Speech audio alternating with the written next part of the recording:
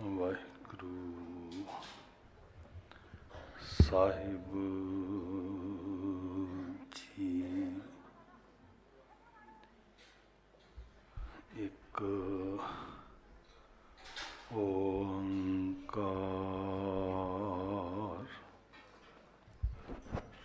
ਸਤ ਨਾਮ ਕਰਤਾ पुरख निरपो निर्वैर अकाल मूरत आजुनी सैपहूँ गुरप्रसाद।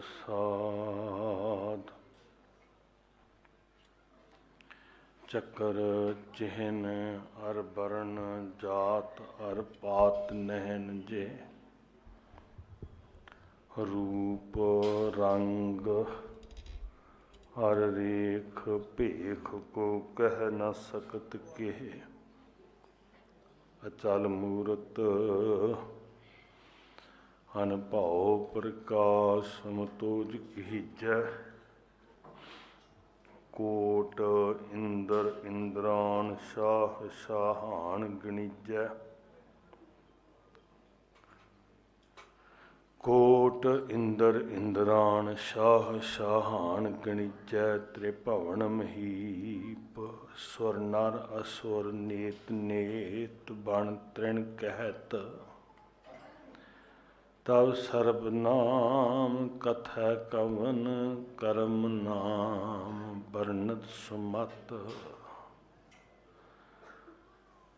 ਜਿਹਵਾਇਕ ਕਵਨ ਗੁਣ ਕਹੀਐ, ਬੇਸੁਮਾਰ ਬੇਅੰਤ ਸੁਆਮੀ। ਤੇਰੋ ਅੰਤ ਨਾ ਕਿਨਹੀ ਲਹੀਐ। ਦੁਕਾਲੰ ਪ੍ਰਣਾਸੀ, ਦਇਆਲੰ ਸਰੂਪੇ,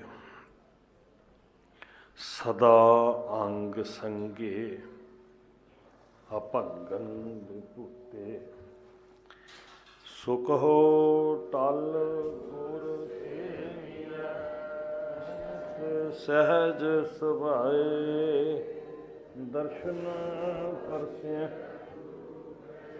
ਜਨਮ ਮਰਨ ਦੁਖ ਜਾ ਹੋਵੇ ਸਿਫਤ। ਨੂਰ ਅਰਸ਼ੋਂ ਕੁਰਸੋਂ, ਤੁਧ ਡਿਠੇ ਸੱਚੇ। ਮਲ ਜਨਮ ਜਨਮ ਦੀ ਸੱਜਣ ਸੱਚਾ ਪਾਤਸ਼ਾਹ ਸਿਰ ਸ਼ਾਂਦ ਜਿਸ ਪਾਸ ਬੈਠਿਆਂ ਸੋਹੀ ਐ ਸਭਨਾਂ ਦਾ। ਵਾਹਿਗੁਰੂ ਸਾਹਿਬ ਜੀ, ਸ਼ਲੋਕ ਮਹੱਲਾ ਤੀਜਾ। ਹਸਤੀ ਸਿਰ ਜਿਉ ਅੰਕਸ ਹੈ, ਆਹਰਣ ਜਿਉ ਸਿਰ ਦੇ। ਮਨ ਤਨ ਆਗੈ ਰਾਖ ਕੈ, ਉਭੀ ਸੇਵ ਕਰੇ।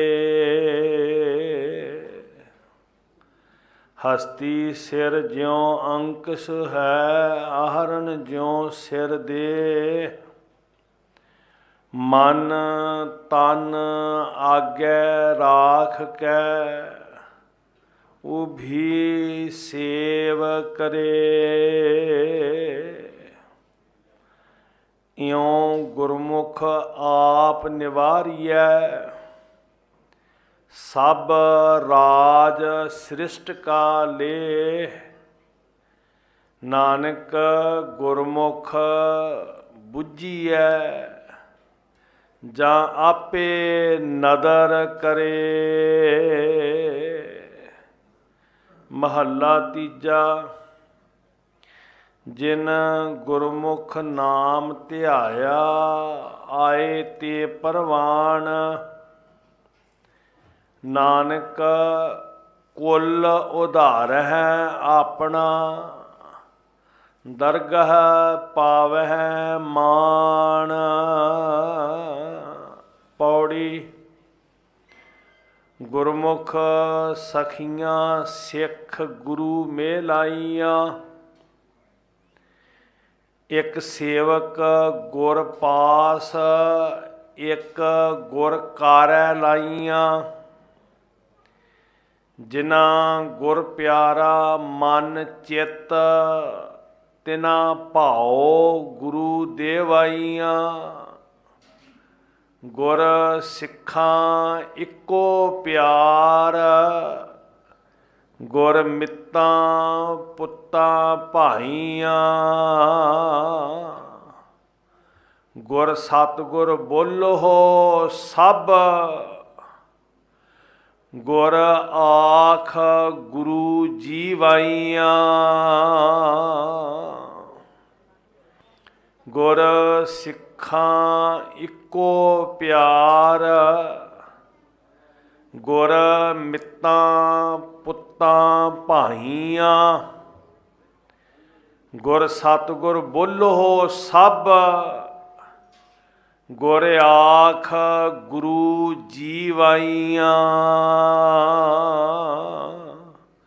ਵਾਹਿਗੁਰੂ ਜੀ ਕਾ ਖਾਲਸਾ ਵਾਹਿਗੁਰੂ ਜੀ ਕੀ ਫਤਿਹ।